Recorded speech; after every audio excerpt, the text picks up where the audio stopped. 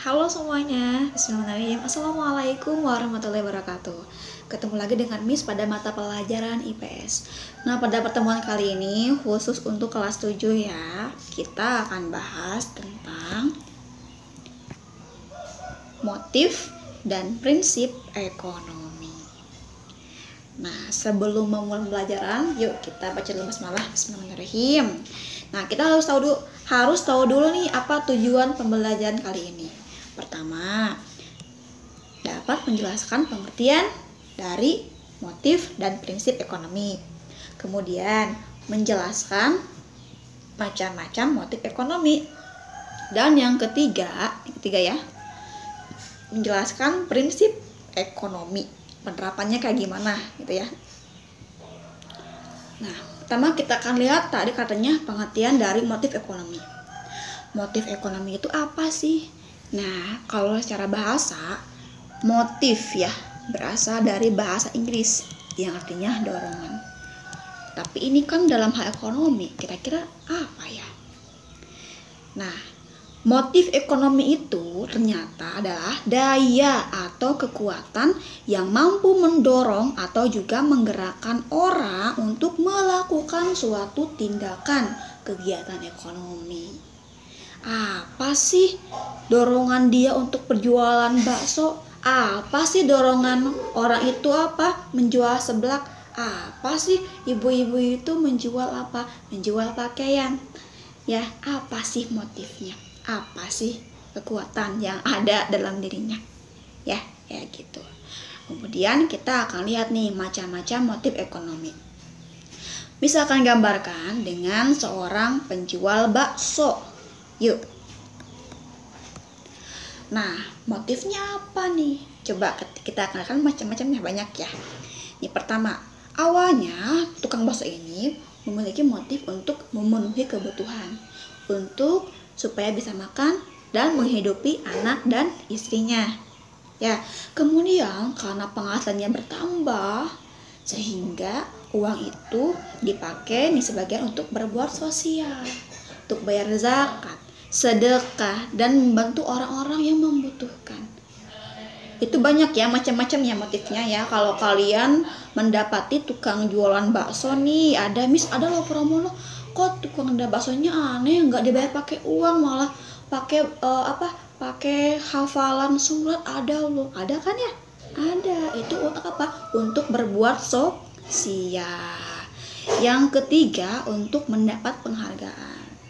Nah ada tukang bakso yang udah lama nih misalkan. Pasti ini dia ini ingin berusaha menjadi bakso yang paling enak misalkan di daerah Ciwastra. Ya itu kan untuk apa? Supaya mendapat penghargaan. Bakso yang paling enak paling mantep paling sedap. Kalau mungkin di channel-channel YouTube suka ada bakso rusuk ya. Baksonya yang terkenal. Ada bakso mangkok bakso ah besar besar bakso, bakso mercon kayak gitu ya. Yang terakhir adalah untuk memperoleh kekuasaan nah karena baksonya kan tadi enak. Ya dan memang sudah terkenal. Nah sekarang juga bakso ini mulai membuka cabang. Harus menguasai misalkan nih ah sekarang harus menguasai daerah Bandung. Bukan hanya di Ciwasra tapi seluruh daerah Bandung. Buka dari cabang-cabangnya. Cabang baksonya A B C. Ya itu dia ya. Untuk memperoleh kekuasaan. Nah ini pokoknya ada bakso. Bebas lah tukang dagang ya ada tukang bakso ada tukang nasi uduk ada tukang nasi kuning ya kayak gitu. Kalau contoh-contohnya nanti ya di akhir misalkan uh, kasih tugas tugas yang mengenai motif ekonominya. Lihat aja ya nanti ya. Kemudian kita akan lihat selanjutnya apa? Prinsip ekonomi. Wah kalau kita bahas prinsip berarti tentang prinsip. Prinsip oh ya semacam apa ya perjanjian kayak gitu ya. Ada tekad dalam hati. Kalau mau A kalau aku mau juara kelas berarti prinsipnya aku harus belajar yang rajin. Tugasnya nggak boleh telat bla bla bla lain-lain. Tapi ini prinsip ekonomi itu apa sih? Yuk kita akan lihat pengertiannya apa. Prinsip ekonomi adalah dasar berpikir yang digunakan manusia dalam melakukan tindakan ekonomi. Dasarnya apa? Udah ada prinsipnya. Kayak gitu ya, prinsip berpikir. Dasar berpikir kayak gitu lah ya. Nah, kita akan lihat penerapannya jangan dulu ke penerapan ya kita akan bahas tentang uh, keuntungan dari menggunakan prinsip ekonomi. Nah, dalam kehidupan sehari-hari kita harus punya prinsip. Jangan sampai gak punya prinsip nanti hidupnya nggak karuan, nggak tahu pusingnya ke mana ya. Yuk kita akan lihat keuntungannya apa. Pertama, dapat memaksimalkan keuntungan. Ini berlaku bagi para pedagang. Ya, karena misalkan uh, kalau produs produsen pasti ingin menghasilkan barang dengan kualitas tinggi. Punya prinsip gini nih kalau untuk produsen. Modal sekecil-kecilnya tapi untung yang besar. Itu kan ada untungnya besar tuh. Yang ini kedua ya, aduh. Dapat meminimalkan kerugian karena punya prinsip nih, karena udah ditata. Ya, udah ada aturannya. Itu dia keuntungannya. Nah, kita akan lihat nih pen, bagaimana sih penerapan prinsip ekonomi. Nah, kita akan lihat dari tiga pelaku ekonomi. Ada produsen, konsumen, dan distributor. Yuk, kita akan lihat pertama dari prinsip dalam kegiatan produksi. Jadi, prinsip dalam menghasilkan barang. Ini berlaku bagi para produsen atau para pemilik usaha. Bagaimana sih prinsipnya? Kalau seorang produsen itu pasti tugasnya menghasilkan barang dan jasa. Menghasilkan barang apa sih yang bisa ditawarkan ke orang-orang? Pertama, kita akan lihat nih, harus kayak gimana. Menggunakan bahan mentah dengan mutu baik. Ini tentu ya, harus dari mutu yang baik. Ya, yang bagus kualitasnya. Ini itu baru bahan mentah. Kemudian mendirikan tempat perusahaan yang dekat dengan bahan baku. Supaya apa ini? Supaya ongkosnya lebih murah, ya. Itu. Kemudian menggunakan tenaga kerja dengan upah murah. Nah, ini biasanya ya. Ini prinsip bagi produsen selalu kayak gini. Ya, yang keempat, selalu hemat dalam biaya produksi. Emang harus selalu hemat. Jangan sampai kita modalnya banyak ya, mau mendirikan perusahaan modalnya banyak. Eh ketika dijual lagi karena dia nggak pakai prinsip ekonomi dalam produksi nggak apa rugi. Bukan untung tapi apa teman-teman? Rugi ya. Selanjutnya dalam kegiatan konsumsi. Ini berlaku bagi para konsumen nih yang beli. Nah khususnya kita nih kalian termasuk bis juga termasuk konsumen. Kita harus pakai prinsip ekonomi ini nih pertama membeli barang dengan memilih terlebih dahulu. Jangan sampai asal beli aja, harus dipilih dulu ya. Kemudian membeli barang dengan kualitas bagus. Tentu dong kita harus carinya yang bagus kualitasnya. Kemudian membeli barang sesuai dengan yang direncanakan. Nah, itulah nih, ada yang namanya skala prioritas. Ya, skala prioritas. Jadi disusun tuh mana kebutuhan yang harus dipenuhi sekarang, mana kebutuhan yang bisa dipenuhinya nanti aja. Itu skala prioritas. Ya, makanya tiap awal bulan, nih misalkan bagi para pekerja, ya, selalu membuat uh, skala prioritas, daftar belanja bulanan. Misalkan apa ya bulan ini? Misalkan bulan A oh aku pertama bayar ah, aku mau bikin sedekah dulu sedekah sekian. Kemudian beli buat makan. Kemudian buat beli transportasi beli buku bulanan dan lain-lain. Pokoknya harus disusun dari yang kebutuhan terdesak dulu kebutuhan yang harus dipenuhi dulu sampai kebutuhan yang lain-lainnya sisanya kayak gitu ya Kemudian kita akan lihat yang terakhir adalah penerapan prinsip ekonomi dalam kegiatan distribusi. Distribusi otomatis menyalurkan barang. Ya, bagaimana barang itu bisa sampai ke tempat lokasi tujuan? Harus punya prinsip nih.